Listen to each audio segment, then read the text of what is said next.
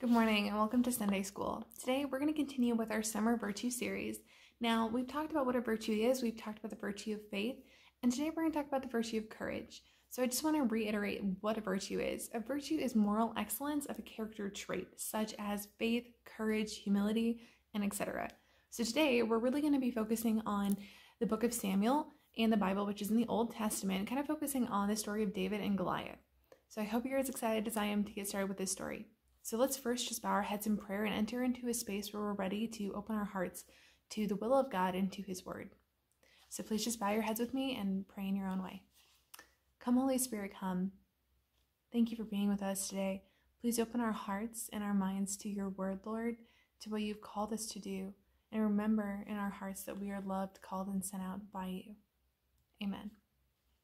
All right, so first and foremost, let's define what courage is. And I think there are two really great ways to define courage. So, first and foremost is a quote by the author Mark Twain. And what he says is this that courage is not the absence of fear, but rather the judgment that something else is more important than your fear. Now, as Christians, it's very true and we take that in completely. But another way to look at this um, from a Christianity standpoint is simply this is that we interpret the virtue of courage as being motivated from our hearts to do something brave.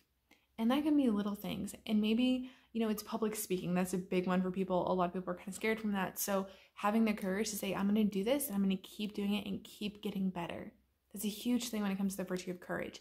Because as we've talked about the last couple weeks, you know, developing moral virtue is not going to be big events in our lives. It's going to be small, day by day tasks that we do that potentially will lead up to a larger event where we're going to use the full force of that moral virtue that we've developed.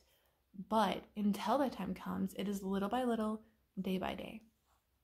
Now, we can actually see that in the story of David and Goliath because, as we know, before David faced Goliath, he had faced a lion, a tiger, and a bear when they uh, attacked his flock of sheep, and he defended them and fought those animals off to protect his flock. And so the thing is, when he went up against Goliath, he'd already had this experience of being able to stand and not to be afraid. Well, whether he was afraid or not isn't the focus here is that he had the courage and the trust in God that he would succeed because of the circumstances he had seen previously to this. He fought through those and he would fought, fight through this again as well and be successful because Christ was with him, God was with him, and that he knew he could do this because by the grace of God, it was going to be achievable because that's what he knew. He had the courage to believe that I can go and face this giant because I know my God is greater than this giant and he will intercede for me on my behalf. And that's what God did. So I want to encourage you to go read um, 1 Samuel verses 17 through 58. There's a lot of great information here about the story of David, and it really goes into the full story. But what I'm going to focus on with you guys today is just the key components of this Bible story. The first key component of the story of David and Goliath is that David had the courage to go to battle with a giant. I mean, that's a really big deal. he had the courage to that, and how many of us, if we honestly ask ourselves, would have that courage. And so, again, having had the practice with the lion, the tiger, and the bear, he had developed that courage little by little to face this pinnacle moment in his life. He also had steadfast confidence in Christ and in himself. That's huge. And beyond that, he believed that God would protect him and that God would intercede for him, which he did. And this was an act of faith influenced that he had done, the entire army, when the army saw what this young shepherd boy had done, they were influenced by faith in this man that they could stand as well. And the thing is, it takes one person with courage to change the world. Just one person with courage. And David did this. His influence of having courage influenced an entire army to be willing to stand. Because before David had come out with his faith and his courage, they were shaking in their boots. But when they saw David's courage, they said, I can do that too. And that's really powerful. The fact that one person who has courage can influence an entire group of people. And finally, he was victorious because God was on his side.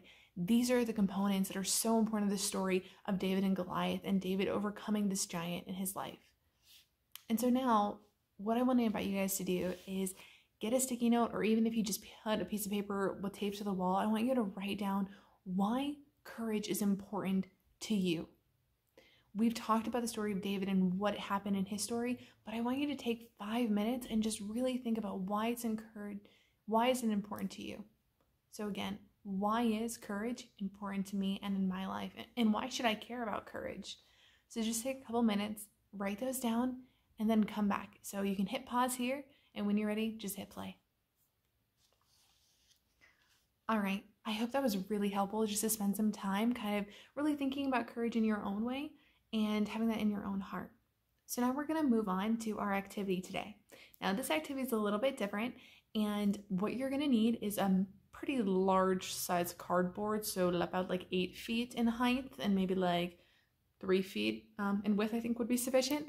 And I would just encourage you to print off a picture or look up a picture of Goliath on your phone and just kind of do a sketching of Goliath.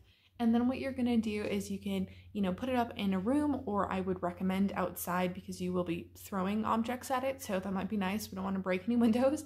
So just put outside in your yard and you can go out there and you can have these have three stones each just like david did and you can take them and you can throw them at goliath and try to knock it over just as david did having the confidence and the bravery of david and even rereading the story of david from 1 samuel before you go into the act of actually doing this so again the supplies you will need is a very large piece of cardboard scissors duct tape just to tape it somewhere and then also a marker and a pencil and a picture of goliath to copy and so, just some final thoughts to leave you with for today's relevance of this is that as David went out to meet Goliath, you and I and all of us in this lifetime will encounter giants in our lives.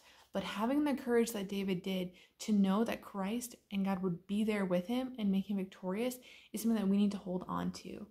And so the key here is to have the belief that David did in God that we can overcome anything because with God, all things are possible. I'll see you next week. Have a great day.